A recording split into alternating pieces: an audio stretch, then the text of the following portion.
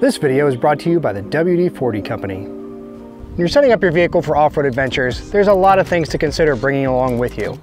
This is a list of eight things that I find to be highly essential. These are things that I bring with me on every adventure, and in fact, they're things that never leave my vehicle, unless I'm using them.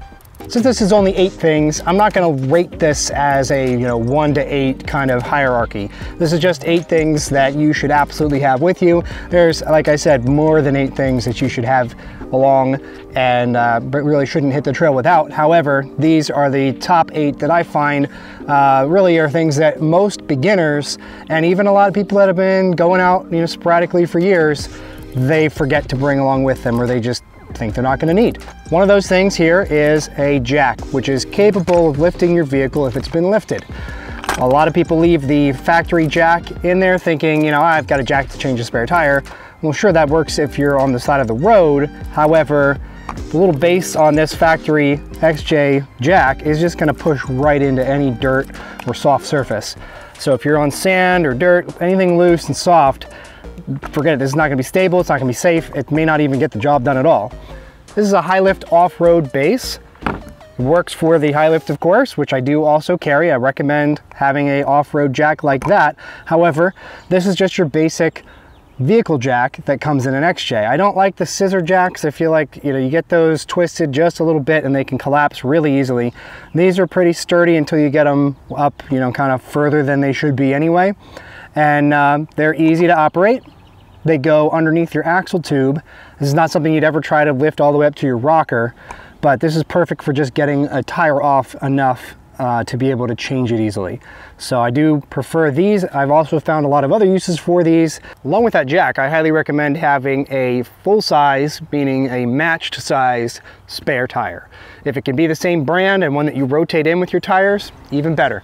But if you just have a donut spare or no spare at all, that's just asking for some sort of trouble. You may even find some uses for a spare tire that aren't putting it on your vehicle in place of a tire with a flat. But if you're not able to carry a spare, maybe you're running a large enough tire that you don't really have a spot for it and you don't want all that extra weight, what you want to do is replace the option of a spare tire with an adequate tire patch kit and an air compressor that's capable of airing up your tires to the PSI that you need. Back to talking about a jack, one of the reasons that I carry a high lift is the ability to unseat a bead if you needed to replace a valve stem. Uh, you can probably see from there this valve stem is actually crushed a little bit and that's why this is on my spare right now because I just haven't taken the time to swap it out but I can't get the valve core out of this very easily. Uh, if I do it might not go back in so you can use the high lift off of your bumper or somewhere else to push on the tire bead enough around it to unseat it pretty easily. So uh, not really going to be able to do that with a standard vehicle jack, I don't think. And uh, just another reason to consider something like a high lift. Another item I always have with me is WD-40's multi-use product. I prefer it in the can with the easy reach flexible straw because it just allows you to get WD-40 into some places that you just can't get with the regular you know, red straw style. And uh, you can also always spray it the normal fan spray as well. But the multi-use product is great for breaking a bolt loose or maybe you have a stuck hood latch or just a squeaky hinge somewhere and it's driving you nuts. You can take care of it with the multi-use product and uh, it's always good to have that along with you on the trail.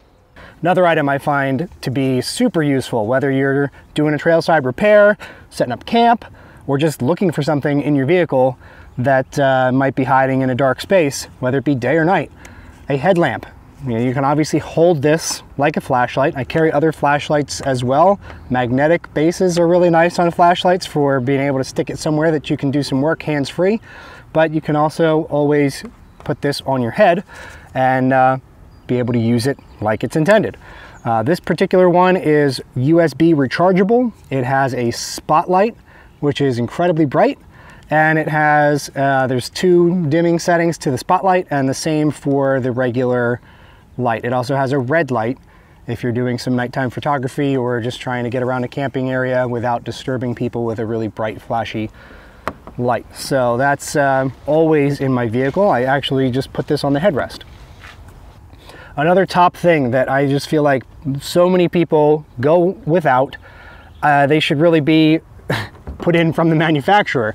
Uh, And that's not to say that uh, Jeeps catch on fire a lot, but anything when you're driving through tall grass or you're working with a fluid that might spill onto something hot, it's so easy to catch a fire. So fire extinguisher is a, a, real top thing to bring along with you. Make sure it's charged, make sure that it's in date and that it hasn't been used a few times.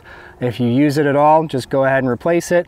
This particular one is uh, rated to do to trash, flammable liquids, and electrical. So uh, it doesn't necessarily have to be vehicle specific as far as I am uh, concerned, but it does need to be able to handle things as you're gonna find on a vehicle. So fire extinguisher, make sure it's charged and ready to go. Make sure it's easy to access and not you know stuffed under a seat or buried under your cargo. I know you're eyeing this up, but we're gonna get to that in a second. A couple other things, and one of these things you're gonna find in your toolkit is gonna be tie downs.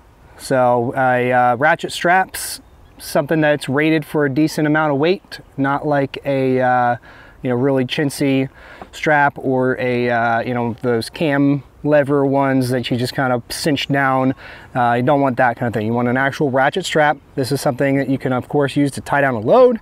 You could use it to hold a door closed if there was some kind of rollover. You could actually have seen them used a lot of times to uh, hold together suspension components or steering components if something breaks on the trail. Just a way to get you off the trail. In your toolkit, one of the things that I recommend having is a lug wrench. Certainly something that's capable of breaking lugs free and putting them back on to, to, to, a good torque spec. The factory one is great because it works with the factory jack I showed you. It has enough of a leverage here that you could, you could also get a pipe on this or something if you needed, and it functions as a pry bar. So um, can be tough to find space for a pry bar in your toolkit. If you have this lug wrench like this, You've already got it. Let's talk about the toolkit. So this is uh, a kit that I've kind of been building over the years and there's probably more in here than I really need if I were to really go back through it. Uh, but let me just talk about the top things to have in a toolkit. A mini sledge or BFH is uh, very useful to have if you, you know, have a rollover, you bend a body panel, something's cutting into your tire, or you need to straighten out something like a tie rod. BFH is gonna be your friend on that. I'm not even gonna open this compartment. This is all sockets and ratchets. Make sure that you have at least the most common ones. On most Jeeps, the uh, common sockets are gonna be 10, have a couple of those, 13, 15, 17, 18, uh, and then as far as standard 7 16ths up to 3 quarter is uh, definitely the minimum number of wrenches that you want to have kind of in through that and, and wrenches and sockets. Let's open up this panel here because in this we've got more tie downs. Always got to have some zip ties, some baling twine or rope. It could also use paracord, uh, a little bit of wire, wire that's going to be, you know, this isn't heavy rated wire, but it's heavy enough to be able to run an electric fan or a, uh, a light if needed. So make sure you have some wire. Also fuses, particular type of fuses that your vehicle uses. Mine, uh, since I've added some things, uses both the standard size and the mini fuses. Good to have some electrical tape, some black RTV if you need to seal a diff cover or something.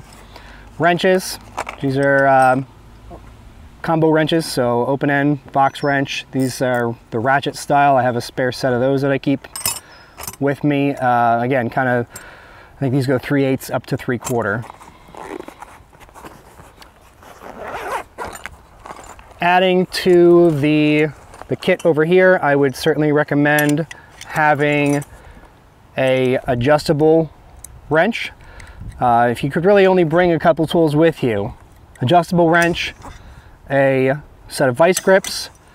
Uh, you don't need really multiple sizes of adjustable wrenches, but it's, uh, it's, certainly good to have at least two things that you can use to, to grab things. Vice grips are handy if you get, get to a nut that you can't you know, have a hand on each side.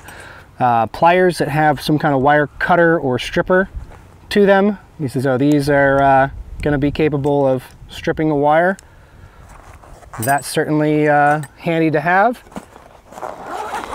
I also uh, can't tell you the number of times that I've wished I had a particular Allen wrench with me when I didn't have these along. So have a set of Allen wrenches. They take up so minimal space. Make sure that it's a full set and uh, you won't be wanting for Allen wrenches on anything.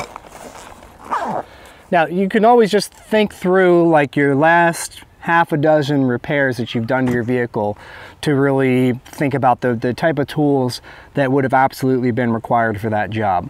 And uh, really, when you think about it, it's not that many tools. We kind of get spoiled with a lot of uh, particular tools for different jobs that, you know, yeah, they're really handy. They make the job faster. But when you're broken down on the side of the trail and it's just you and a buddy and, you know, you, you're relying on the tools that you have, it's not about getting it done fast, it's about getting it done and, and getting it working again. So also because I'm sure somebody's gonna ask, this is a tool roll, which I really love the tool roll aspect of this.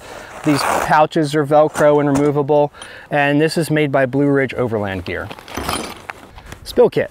So every vehicle that's going off-road should have a spill kit with them. It's just environmentally responsible. It's also just smart. You know, you don't want to leave a huge mess. You don't want to have a huge mess on your hands. So this is really pretty basic. This is something that I've actually put together more recently.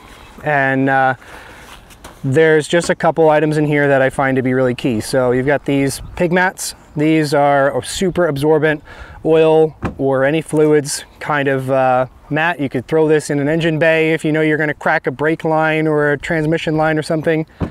Those are great for that. Oil dry or kitty litter. This stuff, you can buy a whole bag of it for like five bucks. Put it in some quart Ziploc bags here for uh, easier storage. I carry two of those.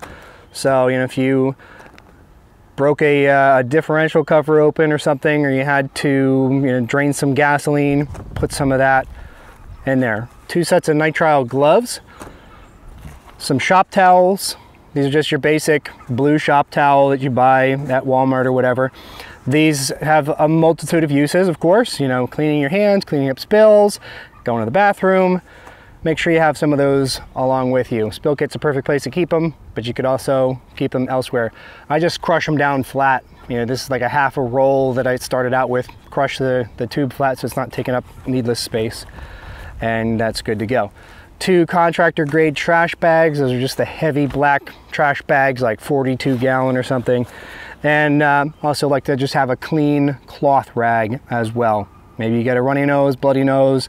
You just need to keep something on hand to keep your hands clean as you're working. You don't want to dirty up a, a ton of disposable towels. That's perfect. But as you see, that whole kit fits into just this little like fanny pack size pouch. So it's kind of the perfect little uh, kit to have on you.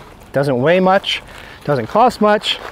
Yeah, this whole thing maybe $15 Another handy tip with little kits like this is, uh, I don't have one for this yet, but just put a little card, like a little 3x5 card in here, maybe laminate it, and uh, explain the contents of this kit. I'm gonna write spill kit on this for myself so that if somebody else were to need it, I can just like, grab my spill kit out of the Jeep and uh, they can find it, or I can say, you know, it's in the back, it's Velcro to the side, or it's strapped down, or it's with my toolkit they can find spill kit and they can also look at it and see what's supposed to be in there. Those are my eight things, but I'd love to know what are your eight essential items? You can leave a comment below to let me know. And if you liked this video, chances are you're gonna love these videos as well.